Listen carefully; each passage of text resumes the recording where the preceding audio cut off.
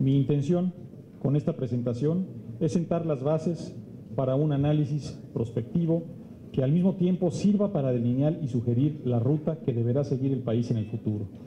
Hace seis años iniciamos un gobierno humanista para transformar a México en un país más justo y próspero.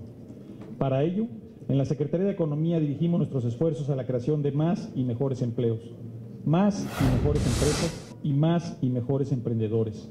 Al inicio de esta administración, nos dimos a la tarea de remover los obstáculos que impiden a las empresas y a la economía en su conjunto crecer más rápido.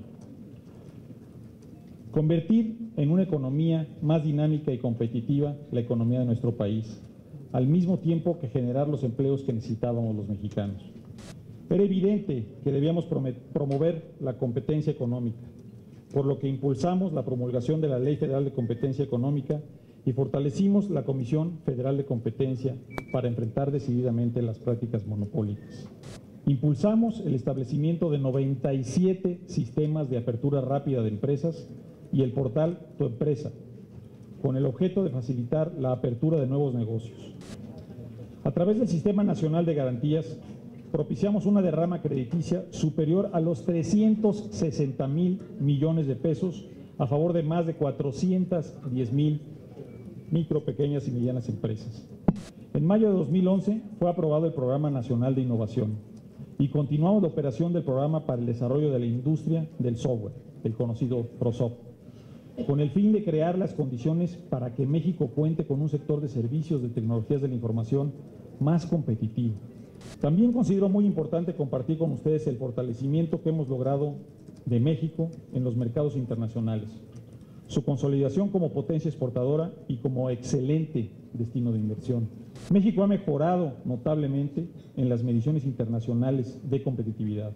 Por ejemplo, en el índice global de competitividad del Foro Económico Mundial, México mejoró 13 posiciones en los últimos dos años.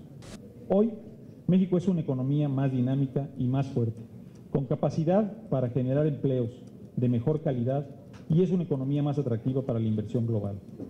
Estamos conscientes de que aún falta mucho por hacer como nación y tenemos que llevar a cabo acciones y reformas que propicien mayores niveles de bienestar, mayores niveles de desarrollo e igualdad. Debemos influir para que la percepción de México en el exterior siga mejorando. Hoy México tiene ante sí una nueva oportunidad para realizar las reformas necesarias, para consolidar su desarrollo. No la perdamos.